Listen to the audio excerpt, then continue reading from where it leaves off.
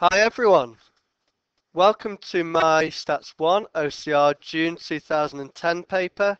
We're going to have a look at question 6 on the paper. So the question is short and worth 6 marks. It's 10 numbers in a list.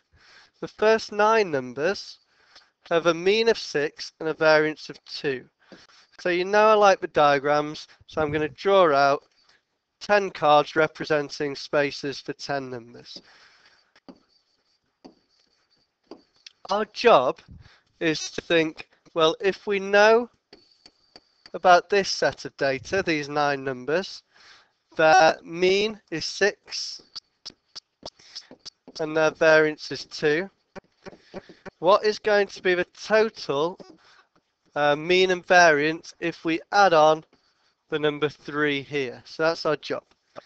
Now, because we're going to be using formulas, I'm going to just make one thing clear at the start that I'm going to call this group of numbers are x's where we go from 1 to 9 and I'm going to call the whole group of numbers y where we're going from uh, 1 to 10 numbers okay? So you know what I'm talking about when I do the formulas. So that means that our mean of x is going to be sigma x over n and it gives us 6. Now sigma x we're not sure about, we don't know what those mystery numbers add up to, but we know there's 9 of them. And we know that that answer is 6. So we can derive from that that the sum of those 9 numbers is 9 times 6, 54. Now that means that we can add on our extra number here, add on our 3, and get the sum of all our total 10 numbers to be 57. And then if we want the mean of y, y bar, we do the sum of y over n. Sum of y is 57. n is now 10 because we've got 10 numbers in total. So our mean is 5.7. The next bit, finding a variance, is a little bit more tricky we think about the particular formula for variance, which says that we find the sum of all the x squareds over n, take away the sum of x over n all squared. Now remember, the sum of x over n is just x bar. So we're going to be summing in that value in a sec.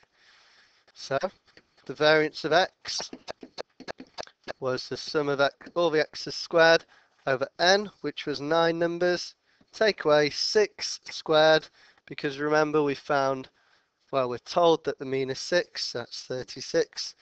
We know that this all equals 2, because we're told in the question, so we rearrange this equation, we add the 36 and times by 9 to get that the sum of x squared is going to be 342 you do that on your calculator.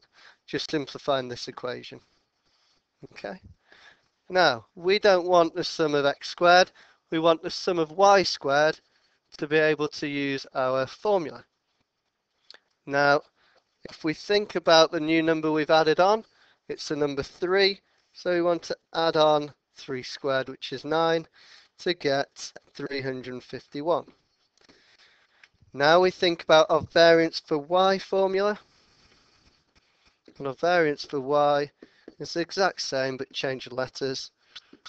Sum of y squared over n, take away sum of y over n all squared. Remember this thing is the mean of y, y bar.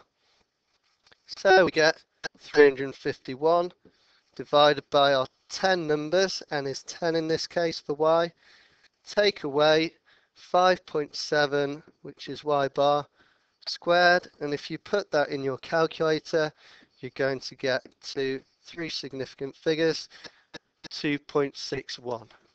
And that's your final answer. I hope this has been helpful. Remember, achieve maths, work hard, you can do it. Good luck in your maths work.